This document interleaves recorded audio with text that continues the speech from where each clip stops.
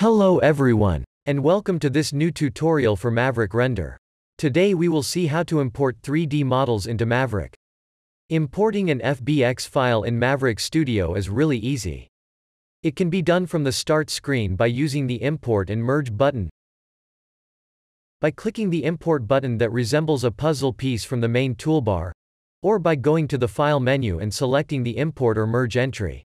It is also possible to simply drag and drop a file from the Windows Explorer directly onto Maverick Studio. In the very first part of the dialog, you can decide whether you want to import as a new scene, or merge into the current one. You can also pick an ambience which will be used for lighting and shadows. Select one of the presets, and click Next. If required, you can change the model orientation using the flip vertical axis toggle. In this case the orientation was detected properly. The FBX format carries scale and unit information. The importer should read the file with the proper scale automatically. As a physically based render engine, Maverick works best with proper scale if you want predictable camera effects such as depth of field or proper lighting intensities. To this end, Always take a look at the information provided in the bounding box area just to make sure everything is to scale, which is the case here. In case a model would not import with proper dimensions, you can use your own custom unit and multiplier. Click Next to continue with the import process. This page shows special options that will be covered later in this video. Most FBX models, like this one, will import just fine with the default settings. So, click on the Proceed button. And there you go. The model is now rendering, with proper scale and orientation.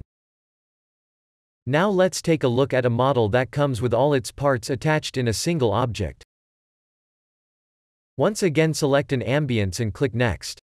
The dimensions are properly detected here as well as it is normally the case with FBX files.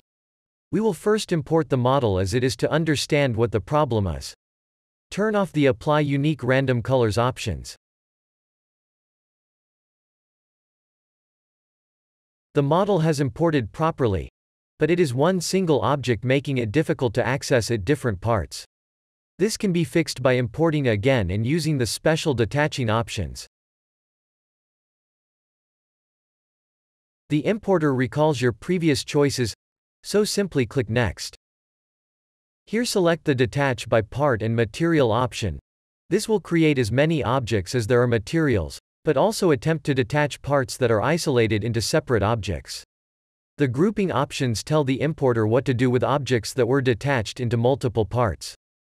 You can decide to not group anything, or group the detached parts by the original objects the parts belong to, or by objects using the same material. In our case, grouping by same material will be ideal. You can recalculate normals in case the model smoothing was wrong after importing, which is not the case here. Click Proceed.